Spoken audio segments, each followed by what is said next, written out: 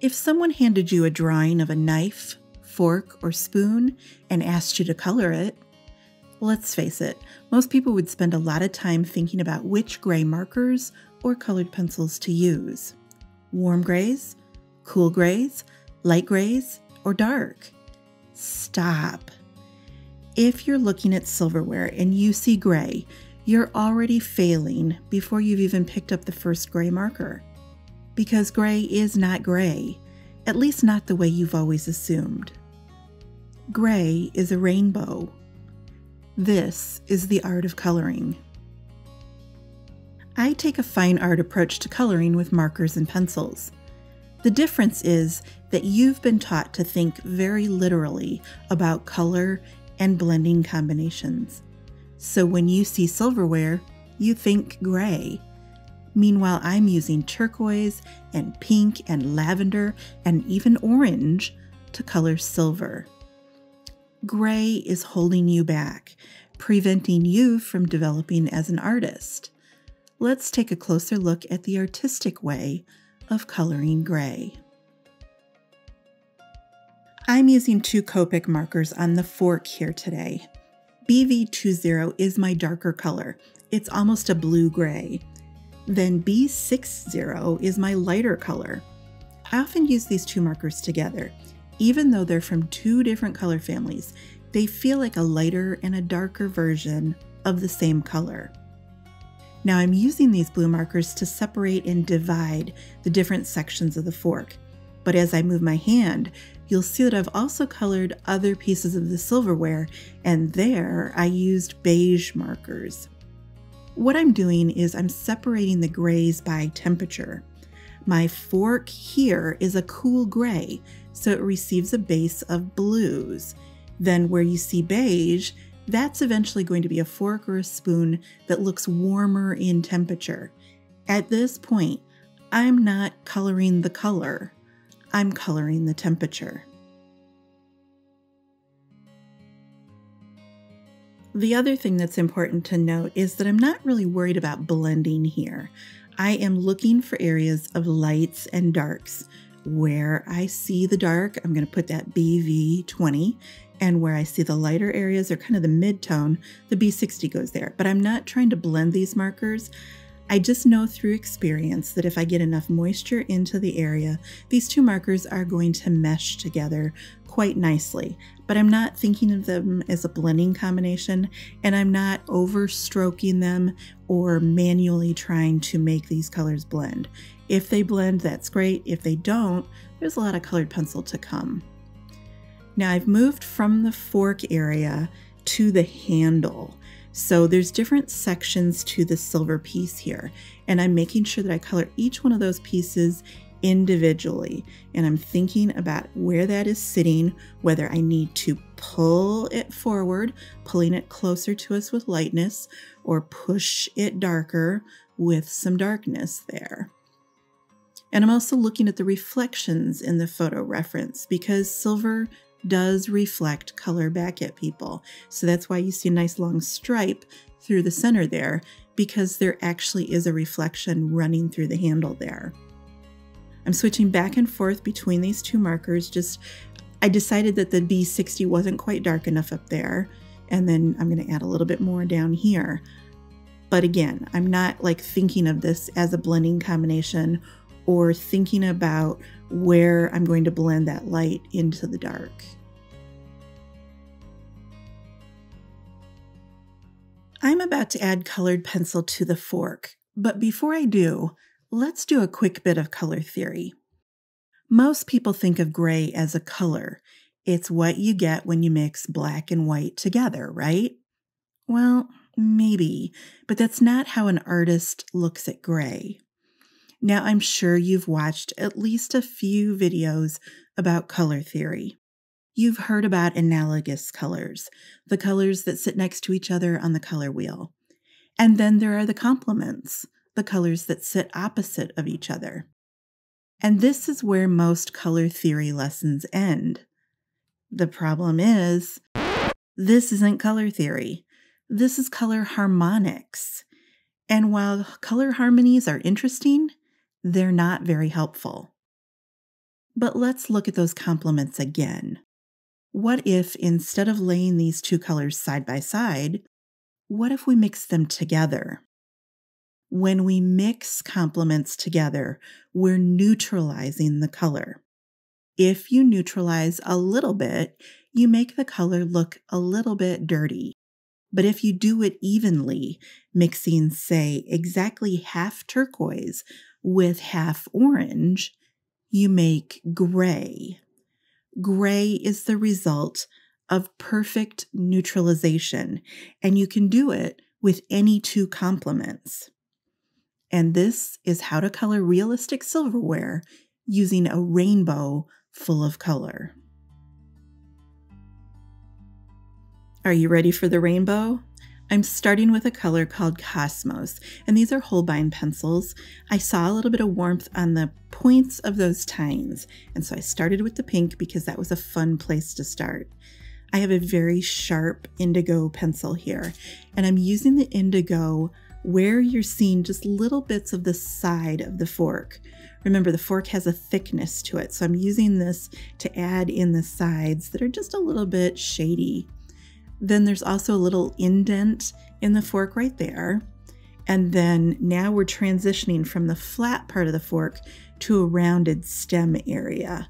And I'm using this indigo then to pick out the darkness on either side there. It's going to make it seem more rounded this way. Down here, this is where the fork inserts into the handle part. There's quite a bit of darkness there. Coming back with that Cosmos pencil, adding the warmth where I see it. I've switched to a lavender, which is a cooler color. Again, I'm paying attention to the temperatures. Now this is yellow ochre and where it goes over the top of indigo or over the top of the lilac or the cosmos, it's graying down and neutralizing those colors. This, for the first time, is actually gray. So I've gotten this far into the project before I use a gray. And really the reason why I'm using it is because I'm dealing with some very tiny areas right here. There's just a little bit of like a little flat area below the round part of the fork stem there, I don't have a lot of room there to do multiple layers of pink over lilac over blue. And so anytime that the area gets a little bit squinched and compressed, I'm using a gray pencil because I just don't have room for the layers. I spend a lot of time taking this yellow ochre over the top of the pink because the two colors combined kind of form like an orangey bit. Just a little darkness on the end there with the gray. Coming down that darkened side that I started with the indigo. This is a pencil called Azalea. It's a hot pink, and I'm using it to further neutralize and muddy those colors. This is Autumn Leaf. It's a rusty orange color. As these colors start to layer and combine, the effect looks like gray. Right there along the thin edge, I needed some precision, so I switched to that gray. And then here's just a little small area. And you'll see that I stop and I kind of look at what I'm doing. I'm what I'm doing is I'm bouncing back and forth between my project and then I'm looking at the photo reference to make sure that I'm capturing the values correctly. I'm back with indigo blue here. Um, I don't like the look of the gray at this point. Like it does look a little bit strange. And so you'll see me like do something with gray and then I'll put a little bit of blue over the top of it, kind of trying to mask it a bit. This is Violet, and Violet is actually the darkest pencil that I'm using today. It has the most value, so anytime that I need to take something significantly darker, you'll see me pull out a Violet pencil just a little small gap underneath there that had a lot of color to it. Again, I'm using that gray for precision. I'm not necessarily using it because it's gray, I'm using it because I can kind of condense the layers and not do quite so many layers. This is Peacock Blue. I really like taking that peacock blue over the autumn leaf color, that orange color. And now I'm coming in here, starting to do the handle. And there's a bit of like ribbon work around the handle. So again, a lot of precision spaces.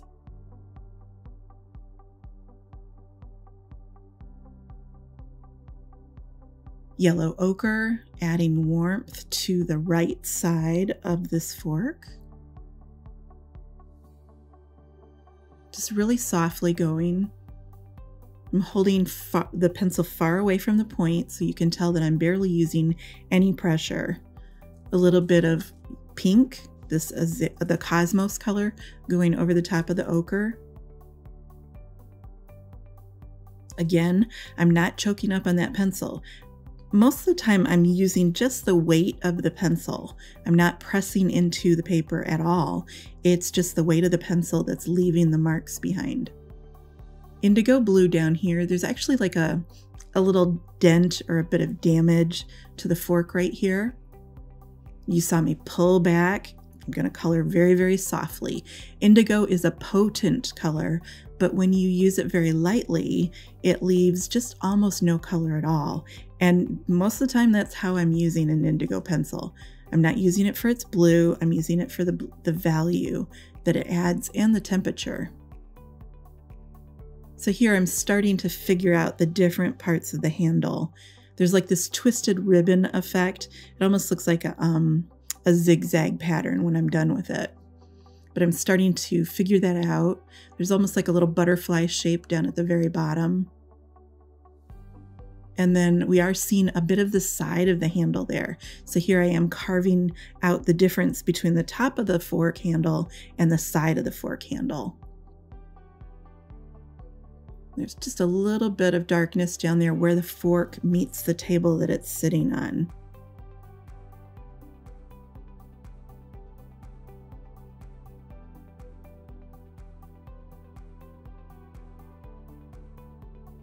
Just softly darkening this area that's going to have like the lib the ribbon scroll in it eventually.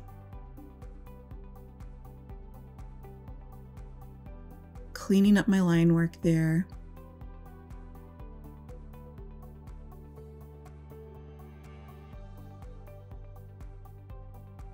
And now I'm going to start to carve in that ribbon shape. It starts with a butterfly shape, so this is indigo. And I'm going to work back and forth between the indigo and the gray number five. So I'm thinking of the gray number five as my lighter pencil, and then when I need to push the value darker, I'll switch to the indigo. And I'm going to start breaking this up into some diagonal lines. There's the butterfly shape. And then the diagonal lines grow from the top of those wings upward. There they are. There's those diagonals. And I'm putting them in lightly with the number five. If I didn't like the spacing of it, then I would I would be able to change that quickly with an eraser. And there's a bit of a twist to each one of these. They they curve upward. Kind of evaluating what I've done, make sure that I like the look of it. And now I'm going to come in here and add little bits of darkness at the beginning and end where I see it in the photo reference. Just giving each one of those just a little twist. I sharpened my pencil there. Holbeins are a very soft colored pencil, so it doesn't take long to wear away that point. And then as soon as you're coloring with a dull pencil, you lose your accuracy and precision. So there's no benefit to saving that pencil go ahead and sharpen it. Use the tool like it was meant to be used. Nice, sharp pencil points. Now I'm moving back to my rainbow of colors, adding the side um, little bits of glint of color that I'm seeing in the photo reference and then neutralizing them out. Now let's add the scroll work to the other side here. I'm working backwards, so I kind of have to reorient my myself. Which direction are they going, and how thick are they going to be? Moving up the side there.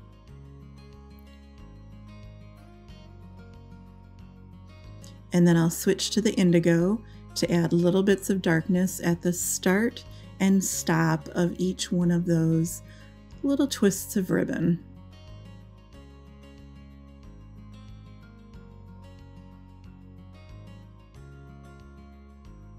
And I pull back and I look at that photo reference, make sure that it's looking the way I want, checking those values. Seeing a bit more of the edge of the pattern over here.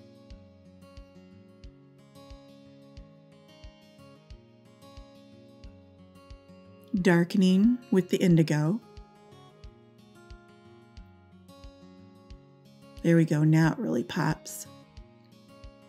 Turquoise. This is called Peacock Blue.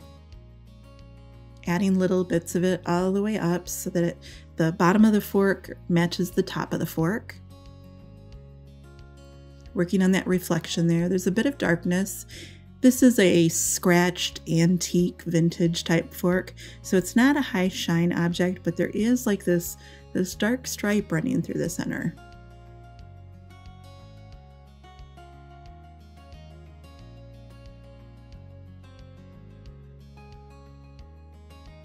And there you go. We've colored an antique silver fork using a rainbow of colors.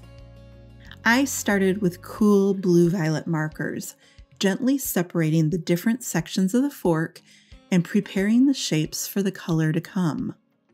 Then I overpainted with pinks and lavender, gold and indigo and turquoise I used these colors to bring to life what might have otherwise been a very dull and uninteresting gray fork. And when I did use a gray pencil, it was to simplify the coloring process. I didn't use the gray pencil as a crutch, and I didn't rely on it for the color. And you can do this too. This antique fork is part of the Tarnished Silver Project. There's more info on how to color this project yourself down in the description. And hey, if you want to learn more about the color gray, here's a live stream that I did on the realistic approach to grayscale coloring.